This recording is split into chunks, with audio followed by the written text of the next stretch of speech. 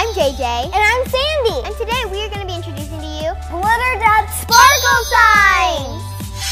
If you haven't heard about glitter dots, glitter dots is a less mess way of playing with glitter. I don't know about your mom, but my mom hates when I play with glitter.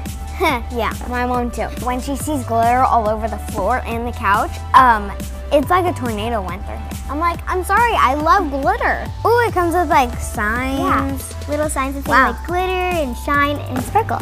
It comes with the glitter dots. Green, purple, blue, red, orange, and yellow. And there's markers that have red, blue, teal, purple, and yellow.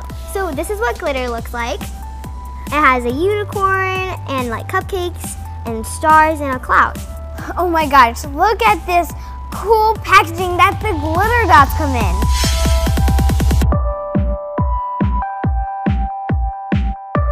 Out of all the glitter dots, my favorite color is blue. It's so satisfying.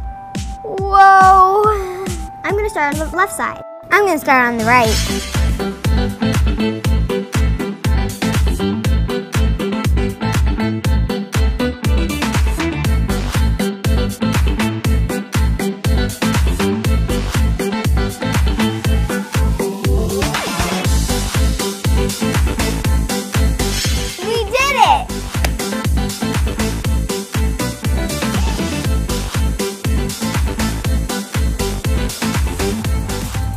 Favorite color?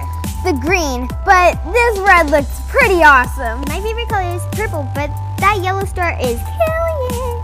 I know, right? Thanks so much for watching. Make sure to like and subscribe and turn on that post notifications. We'll see you next time. Bye!